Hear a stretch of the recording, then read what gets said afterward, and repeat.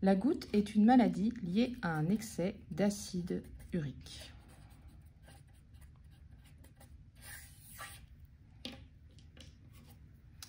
Cet excès, il peut provenir de diverses causes.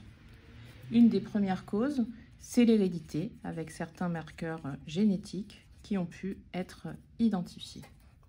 Mais euh, cet excès d'acide urique peut aussi provenir d'un excès d'apport, notamment par l'alimentation, lorsqu'on consomme trop d'aliments tels que la bière, les alcools forts ou les sodas sucrés, ou aussi d'un défaut d'élimination lorsqu'il y a une maladie du rein, une insuffisance rénale, ou lorsqu'on prend certains médicaments, notamment les diurétiques. Lorsque l'acide urique est à un taux trop important, il va y avoir une formation liée à l'excès de concentration de cristaux d'urate de sodium. Ce sont les cristaux de goutte.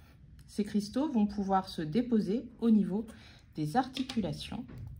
Si on schématise ainsi une articulation, elle est formée de deux os recouverts à leur surface d'un cartilage qui permet l'articulation des deux os l'un face à l'autre et entourée d'une membrane synoviale et d'une capsule.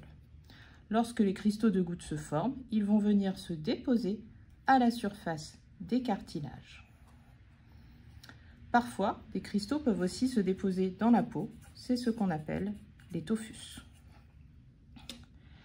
À l'occasion de certains facteurs déclencheurs, les cristaux vont être mobilisés, perturber l'articulation et générer une réaction inflammatoire. L'articulation devient rouge, chaude et très douloureuse, gonfle, c'est la crise de goutte.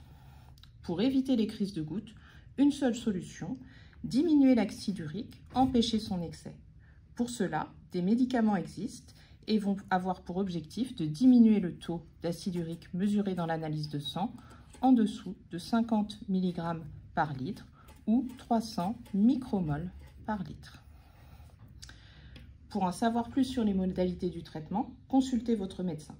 Notre programme d'éducation thérapeutique du patient Parlons Goutte pourra vous accompagner également alimentation, traitement de crise, traitement de fond n'auront plus de secret pour vous.